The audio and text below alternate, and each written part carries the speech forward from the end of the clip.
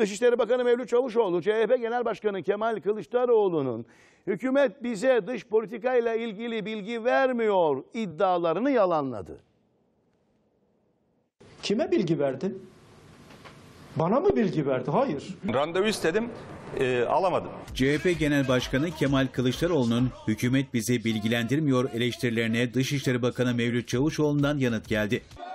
Çavuşoğlu, Kılıçdaroğlu'nun iddialarını kesin bir dille yalanladı. CHP Genel Başkanı'ndan randevu alamadığını söyledi.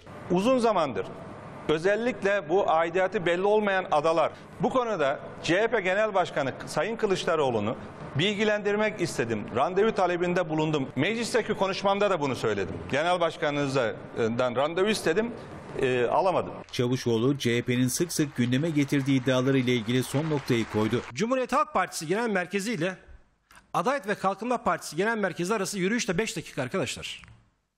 Bırakın telefon etmeyi falan. Kılıçdaroğlu size randevu vermedi. Hayır ben gidip Sayın Kılıçdaroğlu'nu bilgilendirmek istedim. Çünkü bu hassas bir konu, milli bir konu. Dışişleri Bakanı muhalefete bilgi vermeye hazırız dedi.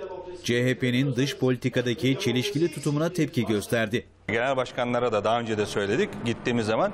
Sizin arkadaşlarınız var.